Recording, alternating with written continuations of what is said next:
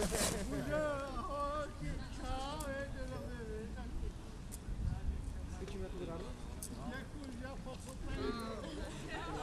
ti ukážu ten starý, jak jsem to dělal. Slovo, co?